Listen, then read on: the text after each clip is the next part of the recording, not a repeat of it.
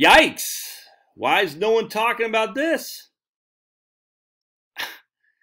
So my crack research team has sent me a couple reports that, uh, yeah, a little bit nerve wracking. I'm not to lie to you. And I'm not trying. Look, I do not want to be a dooms pusher. I'm trying to live in reality, though. Hey, this this is, could be frustrating. All right, so let's check this out. Not frustrating. This could be a. Let me get rid of this thing right here. Hold on a second. Executives at trucking giant J.B. Hunt recently sounded the alarm about a freight recession. A freight recession. And OOIDA, the Owner Occupant and Independent Driver Association, uh, an American Trucking Association, is echoing echoing the sentiment. So these are the local, the independent owners. You know, the guys you see who have a rig and might be a husband and wife team going in there. This isn't good. The American Fr- Trucking Association is the latest to sound the alarm that a freight recession gripping the U.S. It'll be tough for trucking companies to stay afloat if things don't pick up at Memorial Day, analysts expect the freight market to stay around current levels the rest of the year. And the current levels, this is not growing. This is actually not good because we need a growing economy. It'll be really tough for a lot of carriers to stay in business, says this guy. Uh, over 150,000 small trucking business owners and operators are members of OOIDA, and their warning comes weeks after JB Hunt posted lower than expected results. Company executives on an earnings call were downbeat about a broader economic slowdown that was causing a freight recession. Fewer trucks delivering goods across America. Huh. Fewer trucks delivering fewer goods. What does that mean? Okay, doesn't take a rocket science. Now, the interesting thing was check this out. Even industry gauges are signaling slowdown. The ATA, the American Trucking Association, for hire contract truck tonnage dropped uh, by 6% month to month of 95.8 in March, hitting the lowest since August 2021. The pullback has been hitting the prices of commodities such as diesel, a key industrial food uh, fuel. Interesting, isn't it? So, well, why is gas prices going up or down? It's inflation, so it must be in deflation. All right, so in my book right here, I talk about trucking, as a matter of fact. Um, relax retire, and you should get it. Because one of the huge benefits of our ability to uh, think about it, I write it in my book, uh, citing uh, who uh, wasn't Carrie Meyers, is uh, Lura Beam's book, A Maine Hamlet. In the early, the turn of last century, um, the 19th to 20th century, it was a luxury to have celery and chrysanthemums in Maine in the wintertime. It was a luxury. You had to order them a long time in advance. You paid a premium. Why? Because there wasn't trucks to deliver them to you like the way we are we have now. There wasn't. People don't recognize how much we rely on trucking. So let me just show you what I'm talking about. Bureau of Transportation, this is from a book, by the way, right here. Continues, uh, the Bureau of Transportation Statistics tells us trucks continue to be the most heavily utilized mode for moving goods to and from Canada and Mexico, carrying two, uh, basically two-thirds of the freight transported. Despite a 2.2% decrease from 2016, trucks accounted for a 70, 720 billion of the 1.1 trillion dollar freight trade. And that's between flows in Canada and Mexico. Never mind what's going on in, in intra-country.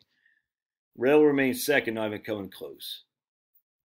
Beginning in the 1920s, refrigeration and over-the-road trucking changed everything. Americans were not at the mercy of the railroads anymore because predictable scheduling, cost effective for short distances, better for perishable goods that could be put in storage, just in time delivery, and door to door service. In fact, right here, I'm going to tell you right here. Um, right. One second. So in Carrie Meyer's book, she talks about how in Illinois they had fruit and veggies, fruits and veggies in the wintertime. And I said, fruits and veggies certainly weren't being grown in Illinois during the winter, so where are they coming from? Farther south, said Carrie. We were able to move product from point A to point B much easier because, quote, what best benefited consumers, she actually wrote farmers, but consumers in the 1920s were the improved roads, which combined with ever improving, improving automobiles and trucks made a difference in time farmers spent hauling crops and running errands. Federal aid to states and, uh, for road construction more than tripled in 1921. And uh, so we had refrigeration, we had more highways, we could move product easier. We didn't have to rely on the insanity of the train lines, which are corrupt as all can be.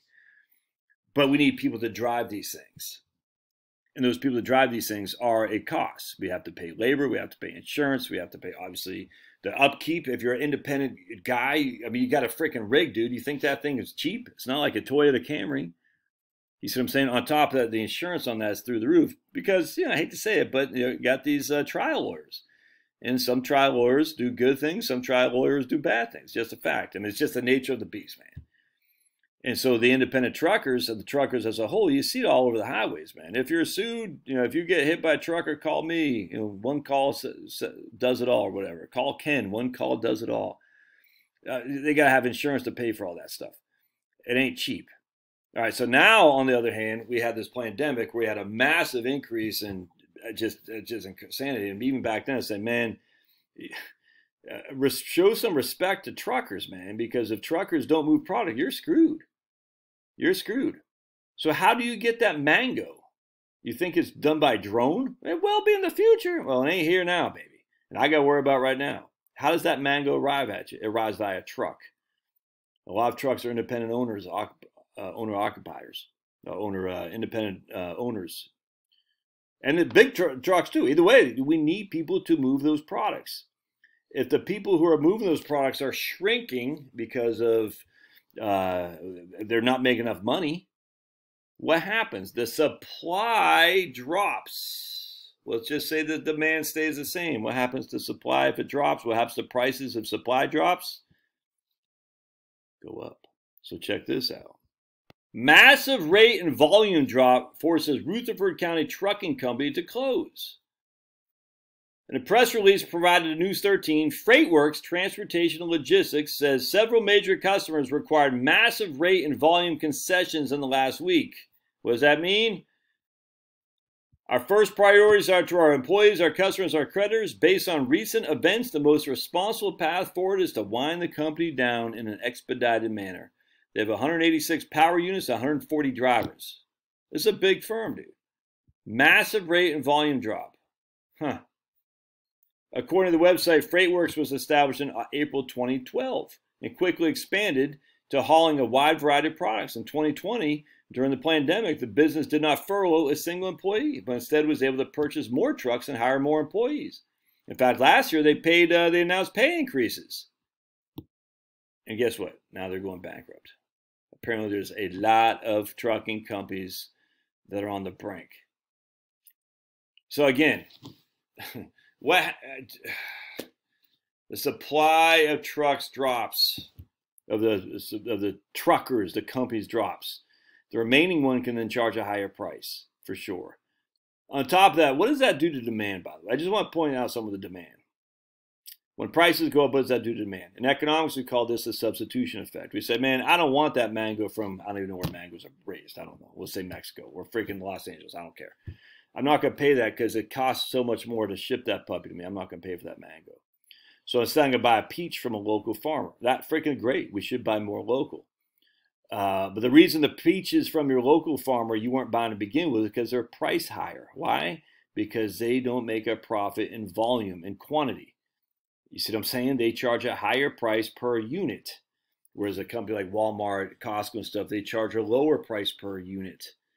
And as such, your local guy is going to charge more. And I, that's the way it is, man. I mean, it is the way it is. That's why buy local sounds good in theory, but when it comes to the, the pocketbook, like it's tough because it costs more to per unit than just go to Costco. So now what happens now is we have a contraction of the supply of drivers and driving companies. The remaining ones can charge a higher premium. That gets priced to who? To you, the consumer. So now again, you're not going to want to buy that mango chrysanthemum in Maine in freaking the middle of winter time. Instead, you're going to say, I'm going to go buy this over here. Well, where's that going to come from? Is it either going to come from over the road hauler or it's going to come locally? And if it's coming from over the road hauler, it's still going to be more expensive because there's less over the road haulers. Over the road haulers. It's just supply and demand. And if it comes locally, it's going to be more expensive because they charge per. They don't charge. They don't make their profit. They don't make their margins on on volume. They make it on the quality of the product, frankly. All right, so check this out. So my crack team had emailed me, said she knew a trucker, and she told me um, this guy gave up the long haul because there wasn't enough to keep the rig full in both directions, which means that's how you be, be, maintain profitability. Again, these are independent owners. These are business owners, my friends. What happens when business, small independent owners uh, go bankrupt? What does that do to the economy?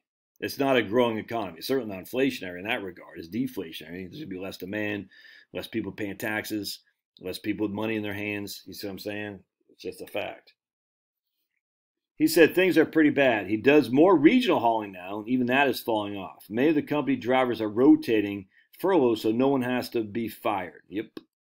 So, um, yeah, it's not being wildly reported, but uh, there's a major this this is a major industry to to stumble and affect the economy. And she said there's something like nine thousand companies that are, or independent or something like that that are in a world of hurt right now. So check this out though. This is what kind of I kind of laughed at this a little. Bit. So going back to this one right here, the guy at the very end, um, which I don't know what to make. You don't know. I mean, no one knows. Um, Despite the ongoing destocking process, a slowing demand for goods and services means there's no identical restocking for the peak season, says a senior managing director of the global advisory firm's Evercore. So that means there was no light at the end of the tunnel necessarily, but he has a pragmatic approach. Capacity uh, will certainly leave the market, but trucking is cyclical. Capacity will leave in droves, but demand will cover, will recover. Pricing will go up, and capacity will come back in droves as if almost like the CO2 people. If we just turn the knob on CO2, the temperatures will drop. Capacity will leave in droves, demand will recover, pricing will go up after demand recovers. Huh, that's interesting. Or a consolidation on the industry, what does that do? I just I, okay, we'll see. I don't know. I just is uh, if, if trucking costs more, your price of your goods can cost more, which means you're gonna have to make your dollar stretch more which means you can buy other products which aren't going to be that cheap either, especially if it's local. It's weird no one's talking about this, man. The economy isn't great. I don't know what to tell you, man. People are like, ah, oh, they, I mean, look, I, there's a lot of undercurrents here. There's, and I don't want that. Look, I, I, I need the economy to grow. I got bills to pay too. And the economy is, is slowing down means my business slows down. And again, I've seen this the last three months. You can see it. You see what I'm saying? Which means I pay less. I have less disposable income to buy in my local farmer over here. I pay less taxes, which means Sniffy Joe has less to send to Ukraine, which is of course the priority, you know, to take care of the Ukrainians as opposed to Americans. Number one priority. How does he do that if I'm not paying as much tax because my business is low? See how this works? It's a freaking cascade, dude. I, I just again, you got to protect the bottom line. That's all there is to it. You got to protect the bottom line. All right, love your thoughts. We'll see you.